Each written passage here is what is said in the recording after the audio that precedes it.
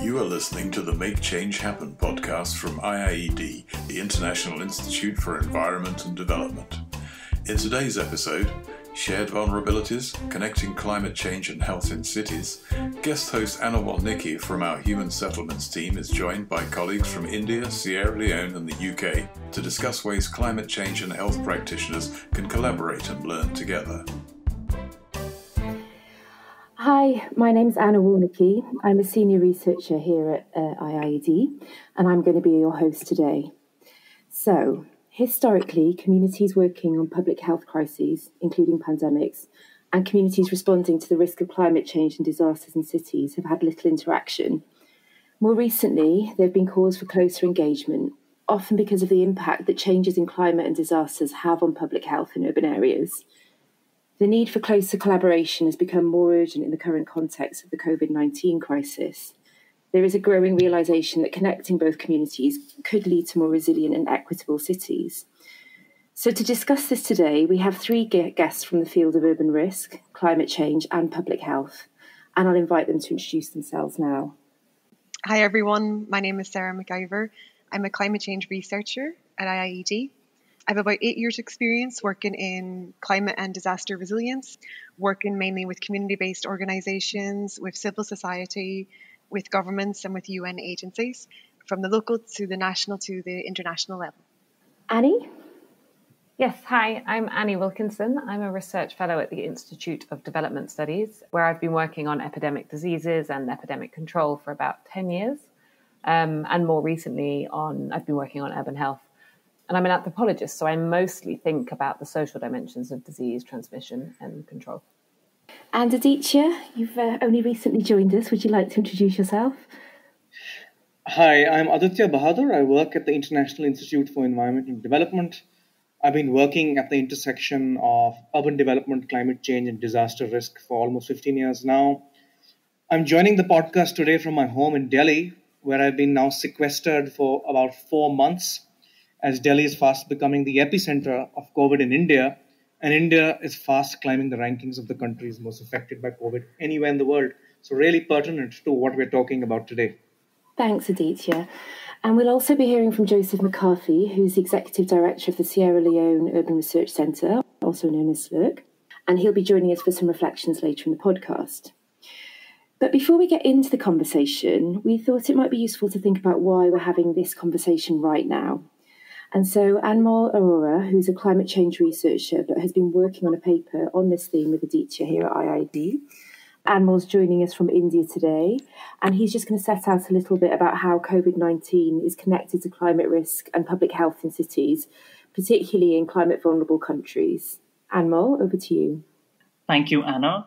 So, I think the idea behind this paper and, and and essentially this podcast came from an in- informal conversation between Aditya and myself, where we were thinking about about these mega cities, London, New York, Mumbai, the places that have been celebrated as the drivers of global economic growth, and how they are how they've simply been sort of down on their knees in the sense that their health systems have virtually been crippled because of COVID 19. And we started asking ourselves questions like Is there something about the design of these cities that makes them disproportionately vulnerable to the impacts of pandemics as well as climate change? What, what sort of similarities exist? And um, some interesting ideas emerged. For instance, it's quite obvious that both pandemics as well as climate change have huge human as well as economic costs. Going forward, we also see that there is evidence emerging that global environmental change is, in fact, bringing uh, human and animal populations closer, which means that the probability of such pandemics is only going to increase in the future.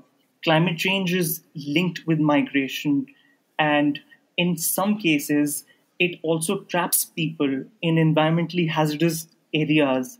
Now, with COVID 19, we've seen a lot of internal displacement, especially in, in, in global south, in, in places like India. As Aditya mentioned, many of us have been sort of trapped in our homes, and this is unprecedented. We know that COVID 19 has impacted women uh, more than men in some of the other social categories, and climate change tends to operate in similar ways. So, so in many ways, we see that there are certain similarities that are emerging, and perhaps there is ground for these communities to sort of start coordinating a little more closely. And that is essentially how this sort of uh, idea of a paper came about.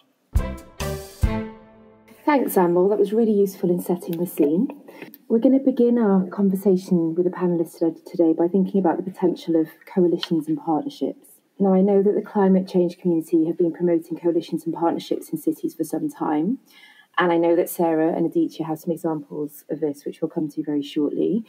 But I wanted to first ask Annie for her thoughts on how different actors and coalitions have been responding to pandemics and public health challenges in cities to date. Thanks. Um, yeah, I think this is an area um, where epidemic response and you know the public health community that respond to epidemics have quite a lot to learn. Yeah, I mean, first of all, recognizing these links between climate and disease. That's one thing, and then the other is recognizing that cities and urban settings are increasingly where these where these links are, you know, where the, where climate and disease are meeting, and we're seeing lots of outbreaks, an increasing number of outbreaks that have these kind of urban dimensions. But I think, despite all of that, urban settings and urbanization is a bit of a blind spot for epidemic response. And it's kind of odd because historically, actually, public health has been kind of rooted in in lots of kind of um, yeah urban issues. So kind of we think of cholera epidemics and the sanitary movements and all of that. But more recently, this epidemic response kind of architecture, I guess, has become quite um, dislocated maybe from some of that, and and you kind of see outbreak response teams that are typically based in kind of ministries of health or in kind of special emergency operation centers um, and not really kind of integrated into the broader health system or into you know city contexts and city governments. And the whole model really has been on kind of getting getting in quick and kind of shutting an epidemic down um, identifying trains of transmission and all of that. And that typically is again yeah quite top down quite authoritarian. It has this kind of emergency thinking that dominates it. So it doesn't really lend itself to collaborative you know coalition based approaches. And so yeah i mean i, I just think that it, it's not that there aren't aspects of there aren't you know there aren't people in public health that are doing all of this. Actually if you think about hiv there's been a huge amount of kind of thinking about kind of yeah local legitimacy and engaging and with local communities and all the kind of coalition stuff. But I, I think when it comes to this kind of emergency disease response and pandemics and epidemics, yeah, they, haven't been doing it very well. And in particular, these kind of urban, the urban systems are, are a bit of a blind spot for for public health. So, Aditya, have you have you got any reflections on more holistic responses that have come from the climate change community that have responded to some of the challenges that they have um, been working on in cities and urban areas? Yeah, I mean, I firstly I fully agree with what Annie said, and what's absolutely clear to me is that protracted and complex crises like the types that we're talking about cannot be solved without developing partnerships with a range of organizations and actors that all come with different skill sets to solve a problem.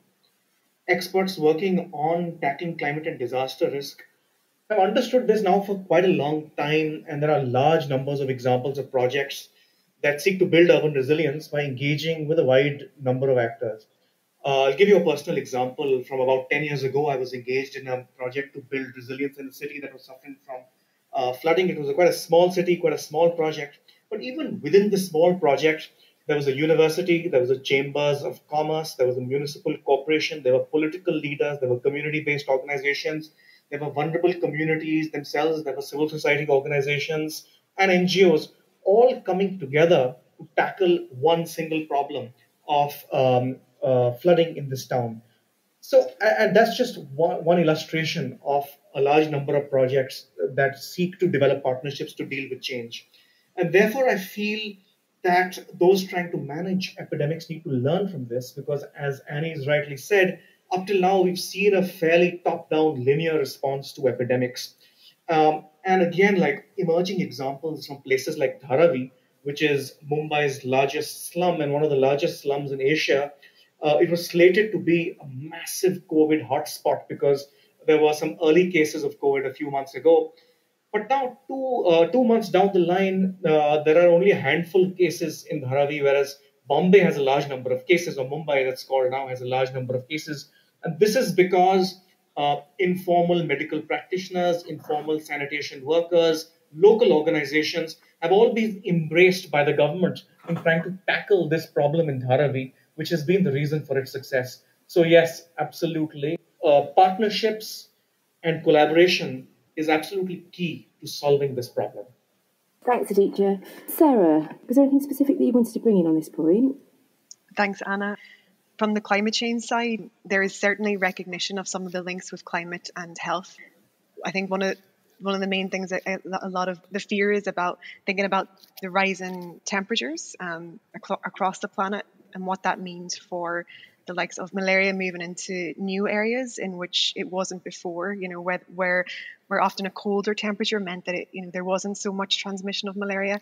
Also, the increase in precipitation, heavier rainfall um, across cities, across urban areas that increased risk of flooding that results in that. Um, and as a result, then that sort of potential for more cholera outbreaks and what that means. So there is recognition from the climate change side, but there still needs to be much more done in sort of bringing in um, the health experts and sort of thinking about planning together.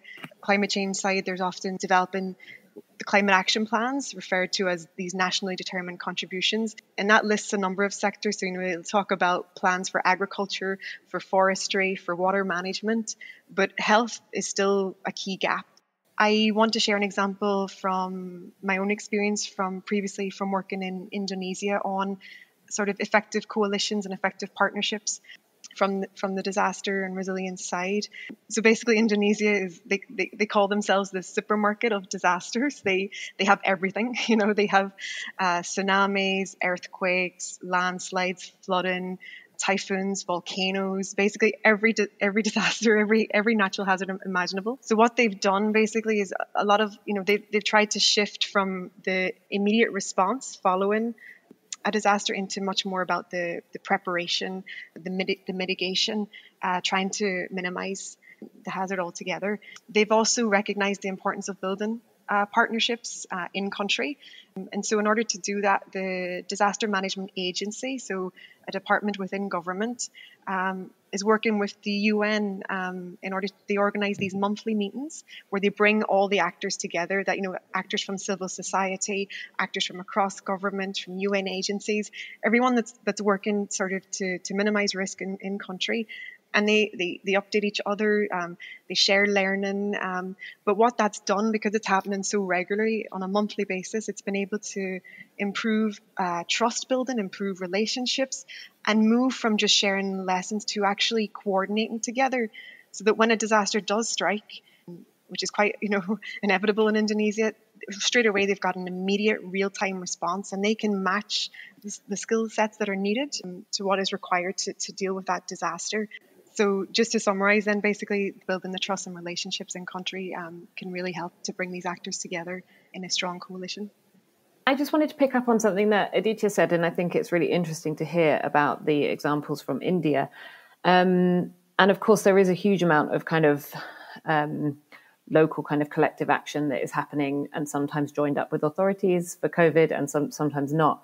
I, I mean on just a, another comment on the public health side of things i think you know there has long been recognition of the need for kind of community engagement and so engaging with local leaders and traditional healers and stuff, but it has been quite rural, really. And I think when it comes to epidemics in urban areas, there is a little bit, you know, it's just kind of not clear. Like, how do you adapt kind of all of these kind of mm, community engagement processes that have been honed quite well for rural areas, for urban settings? And I think, you know, whether it's Zika, in Latin America or yellow fever in Angola or the West African and more recent DRC Ebola outbreaks, like they were, they were, they had really significant kind of urban dimensions to them, and it was, it was just really quite a challenge. It was, it wasn't clear who were the actors and particularly in places like informal settlements, like who who were the trusted local leaders? What are the governance structures? So I think that's that's. I just wanted to kind of make that point that those are those are the things where I think the public health and epidemic response community is kind of missing. Yeah, Annie. I mean, I, I fully understand what you're saying because like 10 years ago, when the climate change and disasters community was starting to express an earnest interest in urban areas, we grappled with the same problems. Uh, participatory um, methods that had been tested and trialed in rural areas were kind of being mindlessly transplanted to the urban areas and were not quite working. So it's been a 10 year learning period uh, for us. And I imagine that uh, the epidemics community also is probably at the start of that learning curve.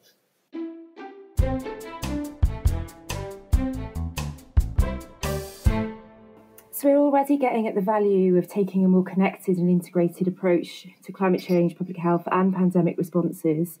Now, I'd like to encourage us to think a bit about who should be involved in such responses in urban contexts. Aditya, just coming back to you, I know that the climate change community have extensive examples of working with city level governments and other urban stakeholders. I was wondering if you could tell us a bit more about the specific opportunities of working with actors at the city level. Sure. Anna, I think what is key to a comprehensive and systematic response to such crises is sustained political attention. Uh, and sh- these issues need to be a priority um, for politicians and city leaders. And therefore, I really feel that transnational networks of city leaders have shown a lot of value over the last couple of decades and have really been pivotal in ensuring that issues of climate and disaster risk in cities receive the kind of sustained political attention that they need. You know, organizations like um, the Mayor's Covenant, local governments for sustainability, the United Cities and local governments, the Asian Cities Resilience Network, and C40 all provide potentially replicable models for those who are attempting to manage COVID 19 and who would like to ensure that uh, issues of tackling epidemics uh, stay um, you know, in the in the political spotlight going forward. Taking just one example, C40 started about 15 years ago by Ken Livingstone, the mayor of London, who convened a bunch of his counterparts from 18 cities. And now, 15 years later, it's grown into a network of 96 cities uh, that contain something like 10% of you know all humanity. Uh, and by encouraging peer-to-peer learning between these cities, the cities in the network have taken something like 10,000 actions to tackle climate change over time. And in a recent evaluation, it was found that 70% of the cities that are part of C40 reported taking an action based on learning from another city. Most of this work has not been in times of crisis. So, this transnational network of city leaders has demonstrated that it's possible to keep attention going even when no, no emergency is breaking.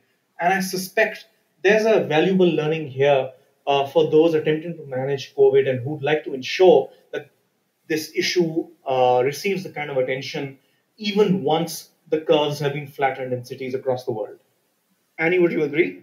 Yeah, no, I would, and I think it's it's really interesting to kind of reflect on the public health, I guess, experience or side of things, and I think it's probably helpful to make this a distinction between when we're talking about kind of public health more generally and the more kind of everyday disease control, kind of hygiene, sanitation, and health systems, a hu- you know huge, broad range of things, and then you know epidemic response and pandemics, which is outbreaks of disease which are exceptional or unusual. And I've been talking mostly actually about the kind of epidemic response side of things, but I think one of the challenges, which links a bit to the kind of climate change example, is that to to be able to kind of mitigate the risks of epidemics um, and pandemics, we need to be kind of building stronger health systems and and and addressing kind of basic public health systems, and to do all of that, you know, outside of epidemic context. And I think that's the thing that we. I mean, it's not that we're not doing it. Obviously, there's a huge amount of kind of health system strengthening work going on, but but I think oftentimes not enough and not significantly linked to thinking about yeah mitigating mitigating pandemic risk. And actually just uh, so I think a big question actually is how do you encourage kind of action in normal times which lessens the risk of pandemics? And that's not just in the health sector but it's like really importantly actually in the non-health sector as well um, I think those kind of considerations are not are not made enough and yeah and in general I think we've been quite poor at um, investing in things that contribute to preparedness. So we talk a lot about preparedness in epidemic response and stuff, um, but we tend to talk of it in quite a narrow way. So it's mostly drugs and vaccines, and and not actually enough of this, you know, basic public health um, and broader kind of resilience issues, which could involve all of this kind of climate stuff that you're talking about. So, Annie, can I just ask you? I'm really worried. Uh, you know, we've seen over the last few months as the crisis has been breaking across cities, we've seen you know city leaders really taking an active role. We've seen press conferences taking place every evening. We've seen mayors, uh, you know, who are really at the forefront leading this fight. Are you worried, like me, that once the curves start to be flattened, things will go back to business as usual, and people will start focusing on other issues, and this will again take the backseat till the next crisis? Oh, it's a tough question. I I am worried. I guess I've done some of my previous research has been looking in Sierra Leone and the impacts of the Ebola epidemic there, and you know, and everyone there was like, "This has got to be a game changer. We can't go back to how it was before." And it, it is. I think it's fair to say that you know the the country was not transformed after that. It did suffer a huge economic crisis at the same time as the Ebola outbreak. So, I mean, we're currently in this point where everyone is kind of looking at the way we have organized society and saying we need to change. But yeah, I'm, I guess, worried, worried or a healthy kind of skepticism of like we need to, words are not enough. Um, and how we actually translate that into action, I'm not sure. But I do also think that kind of epidemics are huge learning experiences. So I, I, I think the kind of scale of COVID and what it really has kind of revealed and the way that's brought so many kind of people along with it and to see how kind of health and non-health issues are kind of so interrelated. I don't know. I have hope that maybe through that learning there is potential for change. I, I completely I, I, agree annie and just to say that you know the health sector is not is not alone mm. this is very much the climate sector feels the same and that that recognition, you know, that this has to be, you know, if we are to tackle these crises, whether it's it's a pandemic, a health pandemic, or or the climate crisis, it has to involve all of us. It has to come out not just the, the technical experts; it has to be everyone, um, all the public working together um, to really to really manage that you mentioned some of the actions um, that are needed, and I, I, think maybe to share some maybe key ingredients, especially for kind of the city leaders. You know, something like a resilience program or plan that kind of is long term and trying and overarching that helps to bring all the sectors together.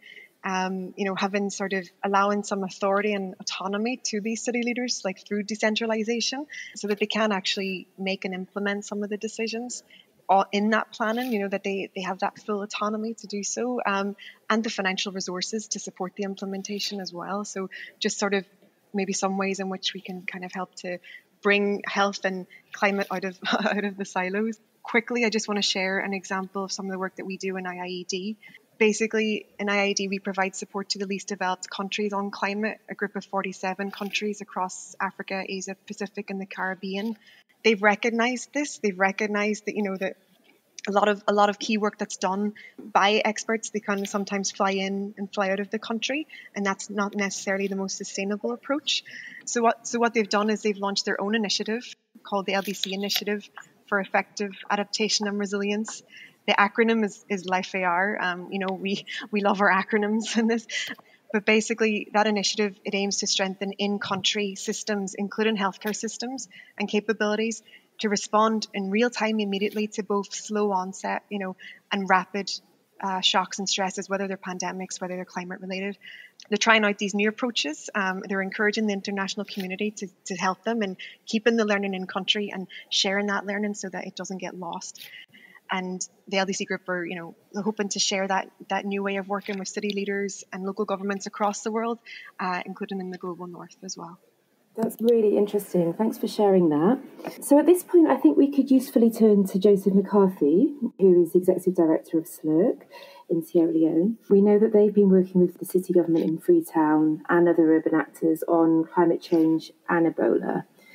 So, Joseph, what are the challenges and benefits of working at the city level for an organisation like SLURC? Thanks so much, Anna. Um, essentially, we have focused, choose to focus on cities because, uh, firstly, cities are areas of population concentration, especially in the case of Sierra Leone, like Freetown uh, concentrates about 40% of the total urban population within uh, the country. And therefore, cities are expected to provide a lot of opportunities, but also these are some of the areas where we have the worst living conditions for human existence.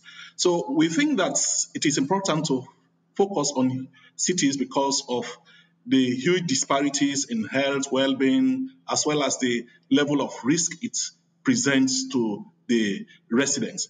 So we have been working in the city for nearly four years. So basically, if I was to talk about the challenges, I think the first challenge should be about how do we, because our area of focus has been informal settlements, but actually winning the trust of informal settlements to the kinds of work that we do, especially research, has been a lot difficult. And this is so because most of them expect financial reward whenever we engage them, and they think it should be about giving them money, just like some NGOs do. And the point is, uh, for most of these communities, a lot of research has been done in the past decades, but there is very little to show for it. And so uh, it's really difficult to get communities to be convinced that these particular kinds of work that we do will really go to benefit them.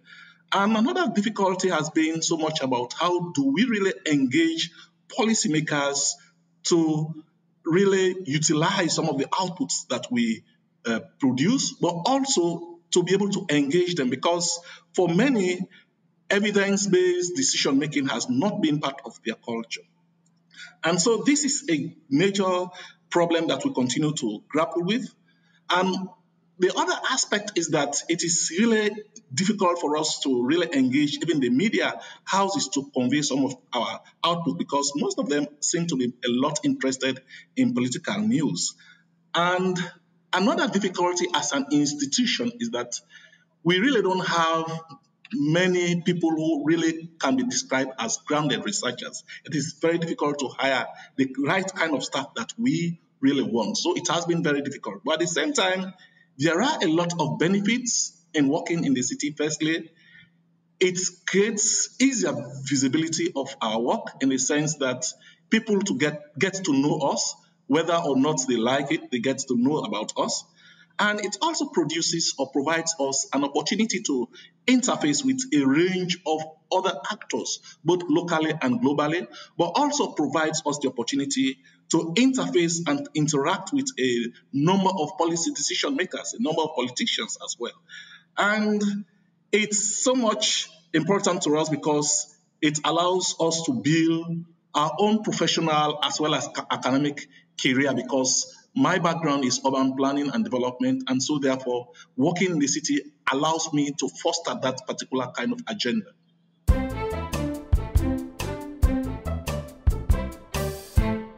We're going to move on now to think a little bit about data. In the past months, we've seen governments rely on big data to make decisions and policies in response to COVID 19. And there have been some clear successes in some contexts and major challenges in others. Before asking for Annie's reflections on this, I'd like to ask Aditya about the potential to use data more innovatively in the management of climate and disaster, disaster risks in cities. Sure. So, I first want to state that I'm not a big data evangelist. Uh, like uh, you, Anna, and you, Annie, I do come. I do did my studies at uh, IDS, which is the home of participatory development. Um, so I really don't think that big data is a silver bullet. And given my background in anthropological and sociological research methods, uh, I approach big data as a skeptic. Uh, with that uh, qualifier, I really feel strongly that big data generated through sort of innovative ICT devices can effectively complement existing ways of understanding the impacts of climate change in cities. Let me give you one very quick, tangible example. Urban areas have microclimates and uh, air temperature can vary from block to block. And therefore, it's very difficult in cities to do temperature readings, which then has implications for how you prepare for heat waves. Right? So that's been that's a big sort of black hole that we really haven't been able to fill yet. There's one innovative uh, approach that's trying to overcome this. What they're doing is uh, they've developed an app through which they crowdsource battery temperature data from half a million cell phones spread across cities in the United States They've then developed an algorithm through calibrating it uh, in the real world that converts battery temperature data into air temperature data.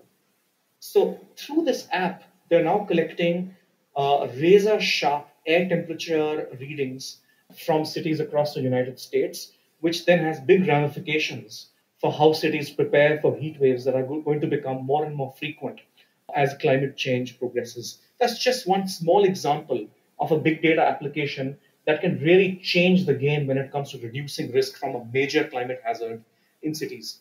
Yet we have seen that those who are making policies and decisions with regard to reducing risk in cities have been really slow to adopt these innovative approaches.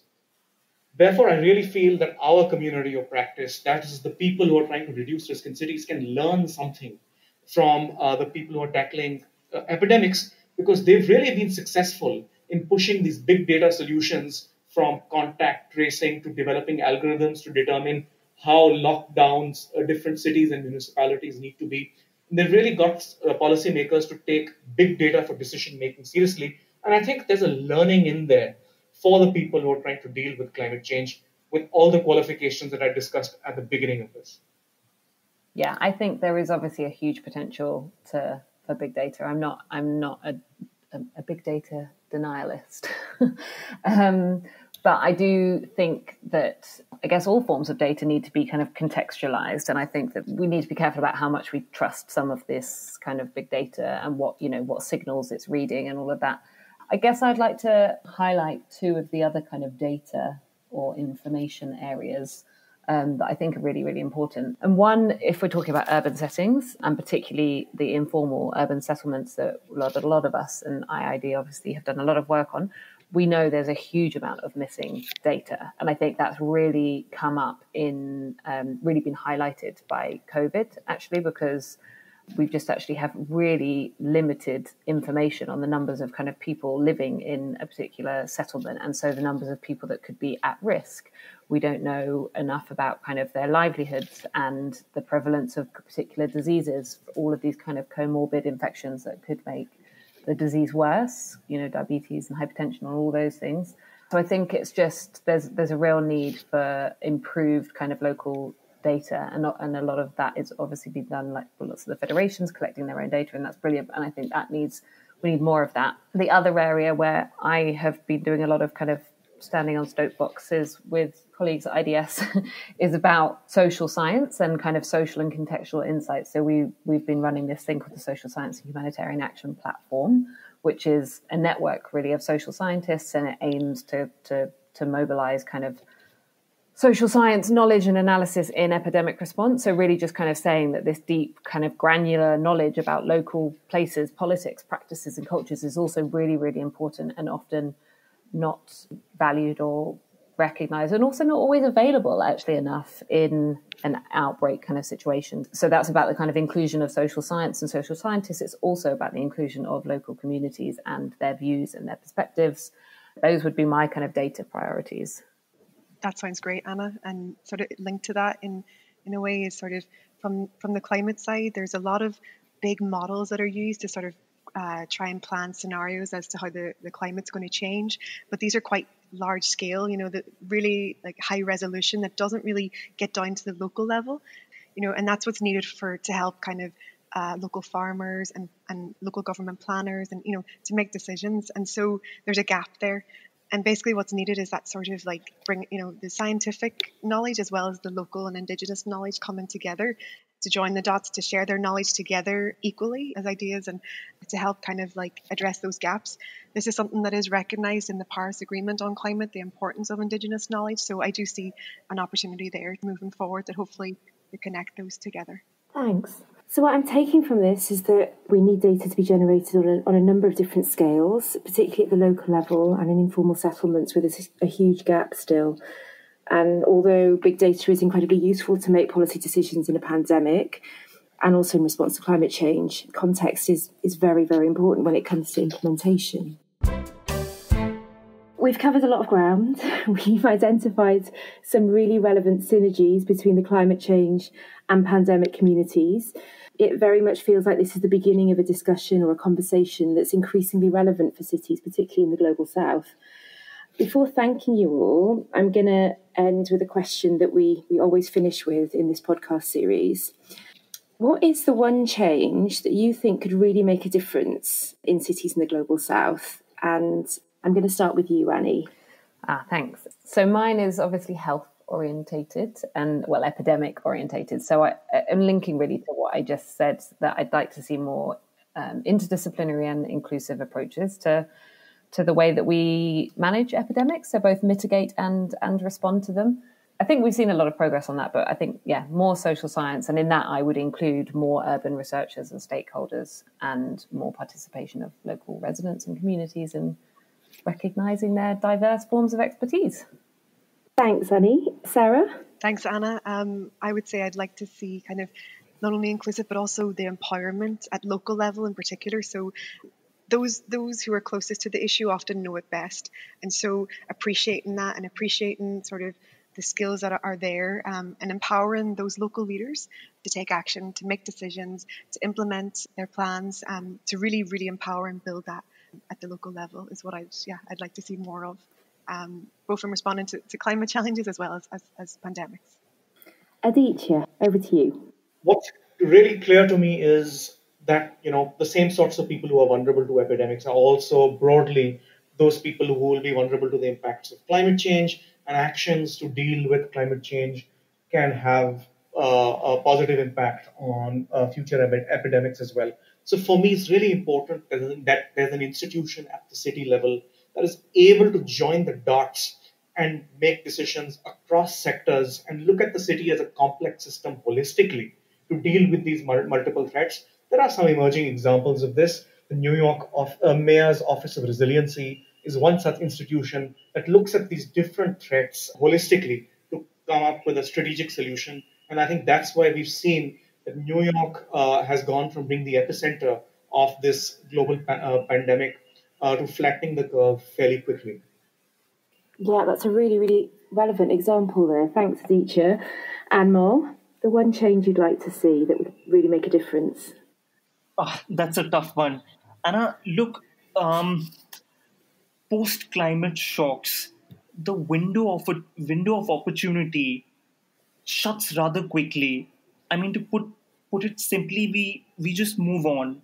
And what I'd like to really see is is leaders, political or otherwise, championing this cause over a long term. Thank you.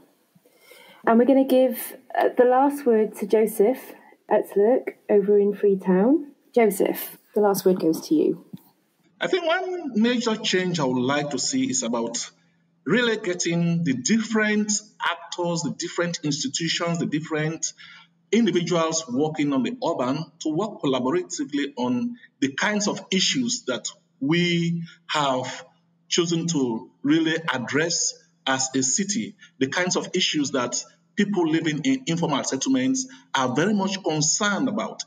It can be in the area of health, like we have a few projects that focuses on those, it can be in the area of resilience inter- or uh, vulnerability issues, especially in terms of the kinds of disaster risk that we have been confronted very recently.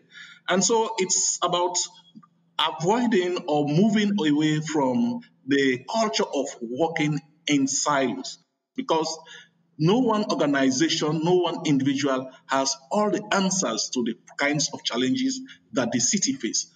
That's great. Thank you so much. You can find out more about this podcast episode and IIED's work in this area, including the initiatives and organizations discussed, on our website at www.iied.org slash podcast. We greatly value our listeners' opinions, so please leave us your feedback and comments at soundcloud.com slash the IIED that's soundcloud.com slash T H E I I E D. There you can also listen to our previous podcasts in the Make Change Happen series. The podcast is produced by our in house communications team. For more information about IIED and our work, please visit our website at www.iied.org.